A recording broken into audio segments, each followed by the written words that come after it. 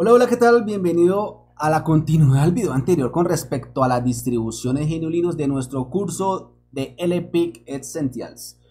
Bueno, continuamos. Terminamos con Fedora, ¿cierto? Hablando de Fedora, las diferentes alternativas que se tiene, cuáles son algunas distribuciones, la diferencia entre sistemas operativos, etc. Bueno, ya. Ahora, ¿qué pasa? Como todo, algunas distribuciones como Linux Mint están netamente enfocadas a escritorio. Hay otras que tienen tanto escritorio, o sea, usuario final, como a servidores. ¿Listo? ¿Qué pasa? Esas distribuciones que están enfocadas tanto a escritorio como a servidores tienen diferentes paqueterías. No hay que confundirlas. ¿Vale? Lo mismo pasa para aquellas distribuciones que están enfocadas a IoT. ¿Vale? Como ARM, Internet las cosas como las neveras, los hornos microondas inteligentes, etc. ¿Listo? Cámaras, smartphones, etc. ¿Listo? Normalmente por mi parte, si tú me dices, Frank, ¿qué distribución me recomiendas para un servidor? Recomiendo principalmente dos, CentOS y Debian. Ya si por X o Y motivo, razón o circunstancia, el developer o la plataforma que vamos a implementar requiere que sea Ubuntu o Fedora, mm, pues ya es dependiendo de eso, ¿no? O sea, obviamente ya aplicamos esa, esa distribución, esos servidores, para, esos sistemas de servidores para poder trabajar con esa aplicación. Porque digamos, algunos dicen, no, es solamente Ubuntu. Y obviamente uno piensa que porque de Ubuntu depende de Debian, vamos a poder instalar en Debian. No, mentiras, porque Debian, al enfocarse en la estabilidad, pues no tiene todos los paquetes tan modernos como los tiene Ubuntu. Listo, por ejemplo, en Ubuntu está el PHP 8, un ejemplo, esto es una barbaridad. Estoy hablando de que Ubuntu tiene el PHP 8 en su versión estable, en su última versión. Debian en su última versión estable tiene el PHP 7. Pero la aplicación que vayamos a utilizar eh, exige que sea PHP 8. Entonces, ¿qué hace uno? Ah, no, entonces al Debian le instalo los repositorios del PHP 8, de PHP 8, que significaría utilizar la versión inestable de Debian, la versión testing. Bueno, realmente la versión testing, la versión inestable, la versión testing. Entonces, cuando actualizamos nuestro Debian a la versión testing, estamos esto en probabilidades o posibilidades de que se rompa algo. ¿Vale? Entonces es por eso que una vez se apunta directamente mejor a la distribución que tiene el paquete ya implementado. ¿Listo? Bueno. Es importante tener en cuenta que estas actualizaciones para los servidores, para los entornos estables, em, son paquetes probados, muy probados y ocasionalmente poco rompen. Realmente las cada vez que yo actualizo un servidor Linux o algo, mm, no pasa nada. O sea, se actualiza, se reinicia para liberar caché. Muchas, muchos se jactan, ah, es que mi servidor Linux ha pasado 658 días sin, sin haber sido reiniciado. Eh, es bueno, sí, eso demuestra efectividad, pero demuestra también que el servidor nunca le han hecho mantenimiento. ¿Ves? Entonces, son temas que debes tener en cuenta. Pero bueno, tenemos zonas enfocadas a usuario final, que ya te mencioné, Linux Mint, Debian con Genome, Ubuntu normal. Es más, vamos a tomar como referencia Ubuntu, que es la más conocida de todas. Entonces, mira que acá si yo ingreso, acá me aparece Enterprise, me aparece OpenStack, Kubernetes, Internet de las Cosas, Support and the Service, bueno, acá son otras cosas completamente diferentes, pero mira, construir tu propio IoT en Ubuntu. Entonces te dice que cuál distribución debes utilizar. Ubuntu Core, Embedded and Secure. Eh, vamos a mirar acá un momentico en Download. Entonces tenemos eh, Ubuntu Desktop, usuario final. Ojo, acá es importante que lo que te voy a decir, nunca, si no eres entusiasta de GNU Linux, eres alguien nuevo en GNU Linux, no utilices las versiones que no digan LTS Ubuntu o que no tengan como base un LTS Ubuntu. ¿Qué significa LTS? LTS significa Long Term Support, que significa soporte extendido, son 5 años adicionales de soporte. Las distribuciones, vamos a ingresar acá, vamos a decir acá Ubuntu Desktop. Normalmente Ubuntu tiene una, familia, una familiaridad muy buena, que todas las que terminan en 04, bueno, en la gran mayoría, son LTS. O sea, después de este LTS viene la 2104, 2110, si no mal recuerdo, debe seguir la 2110. Ahí no sé dónde estará esta. Es un roadmap, no sé dónde estará el roadmap realmente. Pero bueno, entonces, ¿qué pasa? Si no es LTS, no la instales. Instala siempre versiones LTS porque son de soporte extendido y son muy estables, son distribuciones muy estables. ¿Listo? Entonces, acá, ¿qué pasa? Mira que acá yo ya descargo esto, la última versión de Ubuntu AM64 ¿Y qué viene con él? Con el que viene, viene el sistema operativo, viene el entorno gráfico, viene aplicaciones. 2.5 gigas. Si nos vamos acá un momento para la versión de servidores, Ubuntu Server, mira que tenemos diferentes. Eh, Ubuntu en máquinas virtuales de Linux, Mac o Windows. Utilizan ahí una cosa nueva, realmente me pareció interesante la vez pasada que probé uno 1804, venía con algo nuevo. Eh, entonces viene acá, si descargamos esta, vamos a cuánto pesa.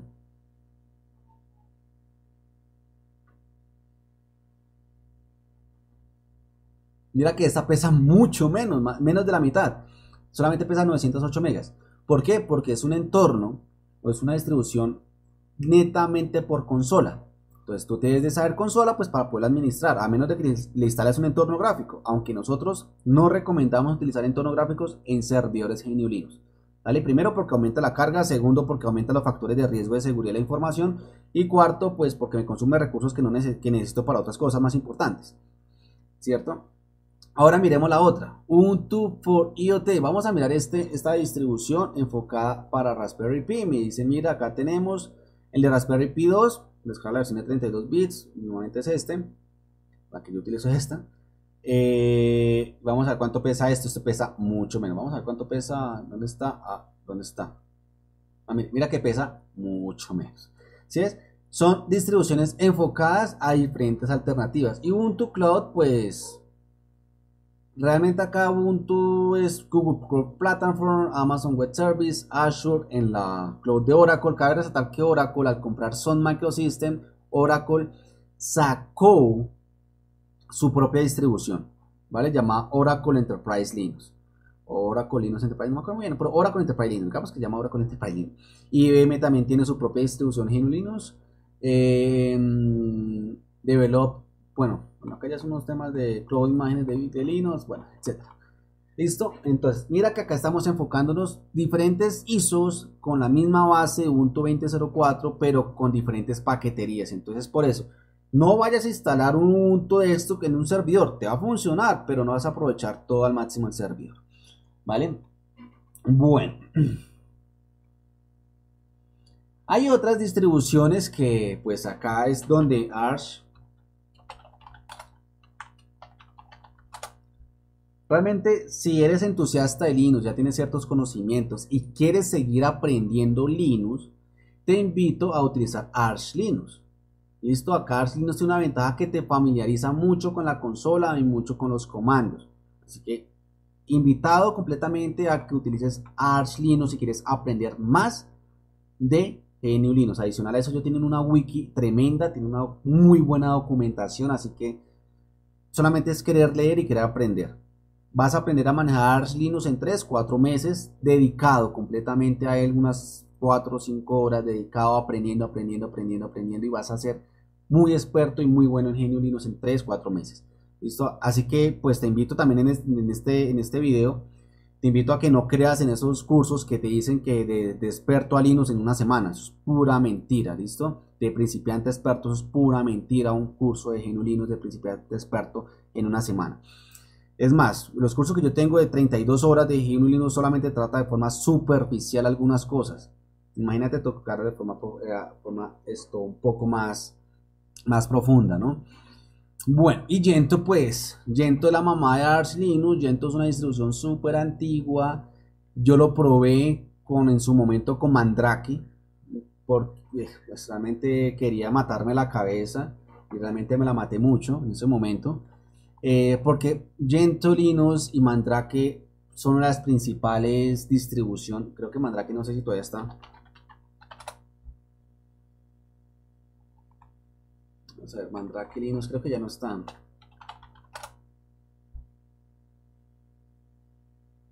Ah, sí, es Mandriva, qué pena. Eh, no es Mandrake, es Slackware.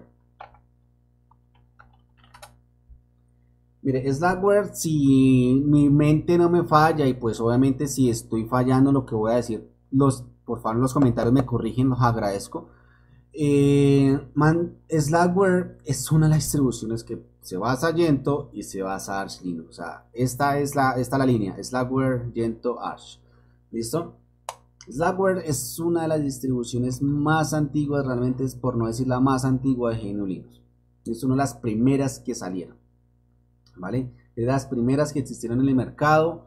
Muy buena distribución, pero también tienes que aprender a manejar muy bien Linux. Literalmente Linux. ¿Listo? Porque tienes que compilar. Acá no que utilizas que apt-get, que yum, que dpkg, que rpm. No. tienes que compilar los paquetes. Esto también es una buena distribución. Se utilizan mucho por los hackers o personas avanzadas en conocimientos de Linux porque lo que hacen ellos es adaptar la distribución y software, software paquete por paquete a sus necesidades.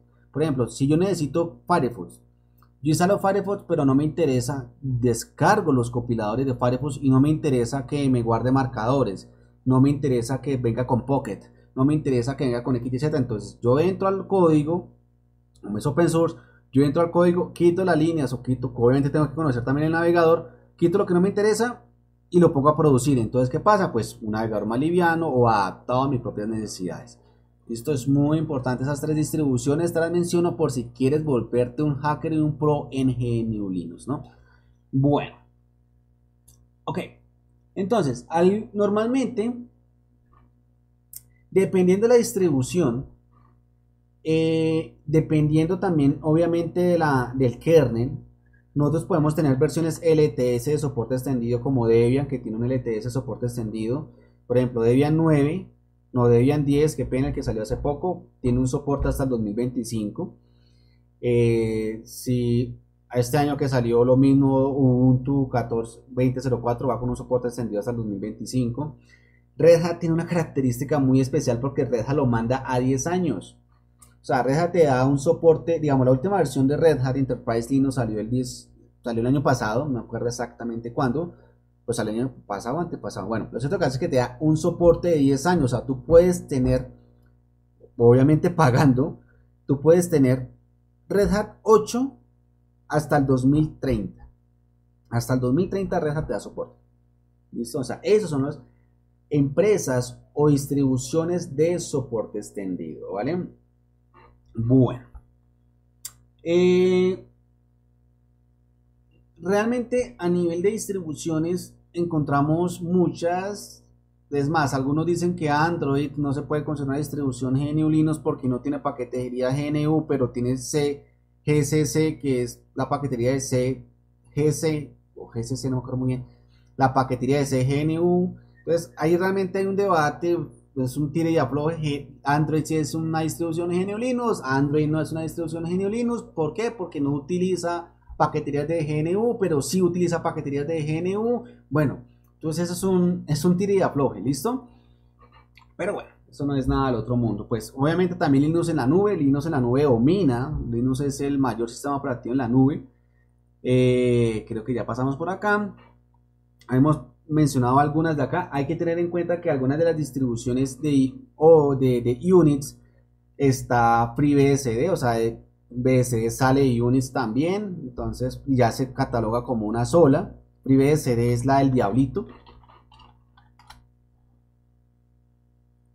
¿Cuánto llevamos? 14 apenas. FreeBSD la del diablito, acá lo tenemos, de acá sale Frinas. Si conoces a... Uy, ¿qué pasó? Uy, excelente. Eh, engines, no font. Algo le pasó a FreeBSD. Tenemos acá acerca de FreeBSD. Bueno, acá se cargo de pronto la, la raíz está, está, dañada, si es la raíz. Bueno, entonces, FreeBSD es un avanzado sistema operativo de arquitectura x86, o sea, IAM64, Alpha, IA64, esos son los kernels, ¿no? Spark, eh, oiga, no veo los Power, bueno, quién sabe.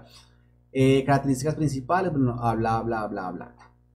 Listo, FreeBSD es desarrollado por la Universidad de Berkeley, si no mal recuerdo, etc. FreeBSD también sale lo que es Frinas, de pronto habrás escuchado Frinas,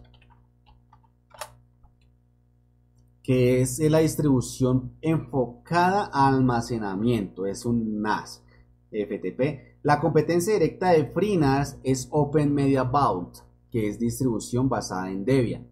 ¿Listo? Eh, acá es un repositorio, no es un repositorio documental, es un repositorio de archivos, de ficheros, eh, centralizada la información, tal cual una NAS. Listo, que tiene sistemas de archivos como ZXFS, esto XFS, que son sistemas de archivos más enfocados a, a manejar gran volumen de datos. El XFS, el X eh,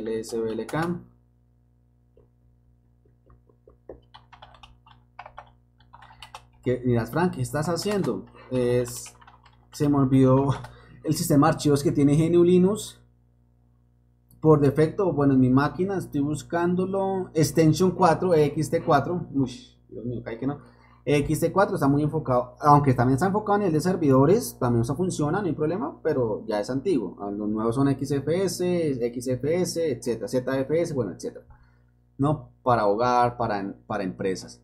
Obviamente, Open Media Bowl Open Media Bowl es una distribución basada en Debian, es enfocada también a Enterprise o entornos de almacenamiento. Eh, esto, mm, por ejemplo, mira, miremos PFSense. PFSense lo conoces, creería.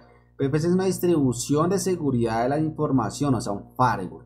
Y pues, ¿sobre qué está basado esto? FreeBSD. ¿Sí En pocas palabras, tiene por debajo FreeBSD. Los comandos de CD, o sea, de cambiar directorio, de listar, de K, de nano, de B, todo eso también están disponibles en esas distribuciones. Entonces, para que lo tengas en cuenta. O sea, si se aprende Linux, vas a tener las bases de para manejar una distribución basada en Unix, ¿no? Open Media lo que te mencionaba, pues la página no es tan bonita como la de Frinas, pero acá lo tenemos, es un ejemplo, bla, bla, bla. Pues Frinas está mejor estructurado porque hay una empresa detrás, esto es comunitario. Pero bueno, listo. Eh, ¿Qué otras distribuciones eh, Unix, ya pasamos por FreeBSD, que es una raíz, y ahí salieron dos, dos tres distribuciones que fue la que vimos, creo que fueron dos, tres, bueno, algo así. Eh, y ahora siguen las de netamente Unix. La netamente Unix tenemos, mm, bueno, es que Unix está muy enfocado al tema de telecomunicaciones o al tema de telcos. O sea, aparte de OS, de Mac OS y iOS o iOS, como le quieras llamar, el Unix yo lo he visto demasiado en telcos, o sea, en temas de telecomunicaciones, Huawei, esto, bueno, por mencionar a una, esto HPUX, HPUX, sistema operativo de, HP. Tiene su eh, cuando tú manejas una granja de servidores y manejas un, una red convergente de servidores HP con switch HP, con SAN HP, con todo HP, ¿Qué tienes que aprender a manejar? HPUX. ¿Listo? Hay un curso completamente de ellos, no sé en dónde está, no me acuerdo muy bien, pero ahí lo está. Em, bueno, hay otra que llama Iris, hay otra que llama Solaris, que pues tristemente eh, Open Solaris fue absorbida por nuestra amiga Oracle, ¿no? Fueron son los desarrolladores de, de VirtualBots en su momento. Realmente Solaris sacaron una gran cantidad de software open source que se le agradece. De ellos desarrollaron Open Office. ¿Listo? Entonces, eh, viene Open Office, viene Virtual, esto, VirtualBots, viene esto, Open Solaris, pues, cabe resaltar. Eh, bueno, como por mencionar algunos, Java, si no mal recuerdo, Java salió de Open Solaris, efectivamente, si no mal recuerdo, o sea, no recuerdo en ese momento muy bien, hay que leer un poquitico más la historia de ellos. Pero bueno, lo cierto del caso es que esta fueron una de las grandes distribuciones en su momento. Yo la utilicé dos veces, realmente me, lo, me topé en dos data centers esa distribución. Mm, pues no haya nada que temer porque realmente era muy similar a Linux. Eh, y ya, listo, después de que salió, lo fue comprado por Oracle, pues eh, lo desaparecieron. O sea, ya, ya salió del mercado Open Solaris. Listo, bueno. Y pues MacOS, pues MacOS, quien no conoce MacOS, realmente ahí está, ¿no? Linux o Windows también, Windows, pues Windows es curioso, porque Windows últimamente, como sabrás, habrás escuchado noticias, Windows sacó algo. Creo que es así. Sí.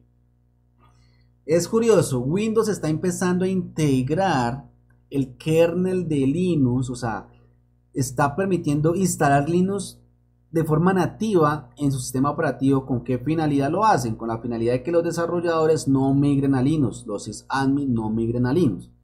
Porque Linux les está empezando a quitar mucho mercado, no a nivel de usuario final, no, hay nunca Linux hasta el momento, a menos que pase unos 30 años, yo creería, no sé cuánto tiempo va a pasar, a menos de que pase algo grave. Eh, GNU Linux todavía no manda en el escritorio, o sea, en usuario final, pero a nivel de desarrolladores, o sea, DevOps, o sea, DevOps, que es una de las carreras que más está explotando hoy en día, DevOps, eh, quisieron mantener eso, entonces, para que la gente no migrara a Linux o no colocara un, dual boot, ¿qué hizo, que hizo Windows? Integrar Linux dentro de Windows.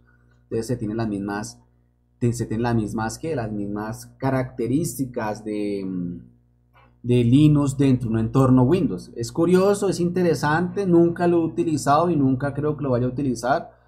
Eh, pero es súper interesante el camino que está tomando Microsoft al respecto, ¿no? Obviamente eso hay que activarlo, hay que hacer una cantidad de cosas allí que un usuario final o un usuario normal y corriente nunca lo va a hacer, ¿vale?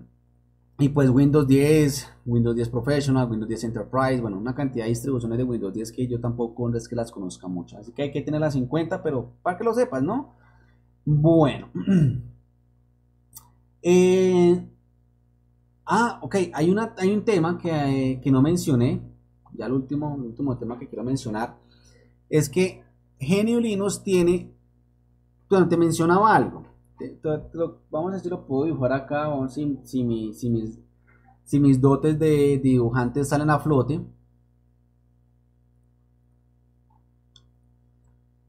¿Qué pasa? Tenemos en este preciso momento, acá abajo, creo que está muy grande la, línea, tenemos el servidor, tenemos el kernel,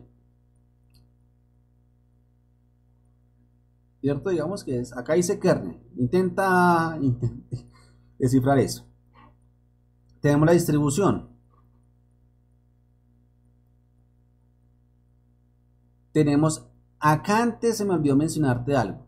Antes del entorno, o sea, antes del si es si es KDE, colocamos KDE para no para no escribir tan largo. Si es KDE, Gnome, Mate, esto, Panteón, que es el de alimentarios Panteón que yo utilizo.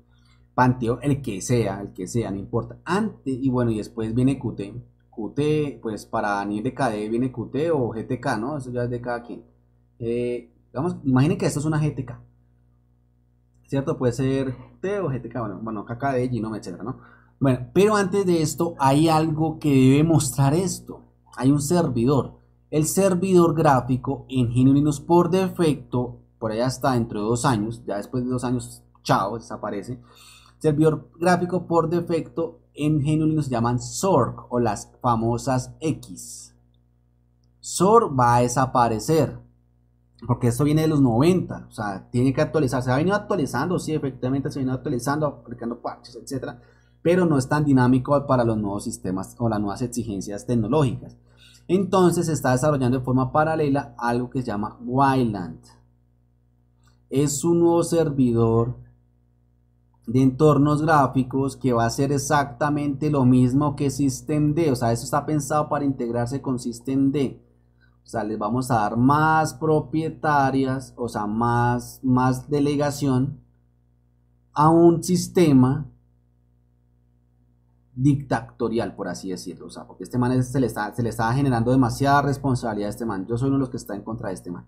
O de este sistema, este man no, este, este software. Realmente, pero me toca aprenderlo, o debía aprenderlo, pues porque es el estándar que se viene, ¿no? Pero estamos, muchos están en contra de esto, porque reemplazó a Init que era el demonio de inicio de sesión y pues cada uno tiene forma independiente, bueno, etcétera. Es más, hasta Debian, que quiero mencionártelo por si te sale en el examen, Debian tiene una distribución que no quiso sacar a SystemD, o sea, no quiso utilizar SystemD dijo, yo me niego a utilizar SystemD. Los desarrolladores de Debian dijeron no porque es que darle demasiada potestad a un demonio a Systemd, le están dando demasiada potestad, es que Systemd tiene demasiada, demasiada potestad. Entonces, ¿qué dijeron ellos? No, nosotros sigamos con init. ¿Y qué salió de eso, de esa pelea? Salió esto, Debian. Una distribución con base de Debian, pero que utiliza init en vez de systemd. ¿Vale? Bueno. Ok, vamos a ver. Listo. Entonces, para esto, esa es la estructura. Hardware, kernel, distro, entorno, eh, servidor gráfico, que puede ser Soro o Wayland, entorno gráfico, lenguaje, mostrar las ventanas y ya. Como te das cuenta, esa es la estructura, eso es lo que nosotros venimos manejando. En GNU recuerda el comando que ejecuté acá, que fue para yo saber el kernel, qué kernel tenía, con uname-r, pues para saber qué kernel tenía, ¿cierto? Eh, bueno, no es más, en el siguiente video pues vamos a entender un poco lo que es el hardware de computadoras, vamos ya a tratar otra vez el tema un poco práctico y ya listo. Bueno, no es más, me despido, recuerda suscribirte a nuestro canal si te gustó el video y nos vemos en el próximo. Hasta pronto.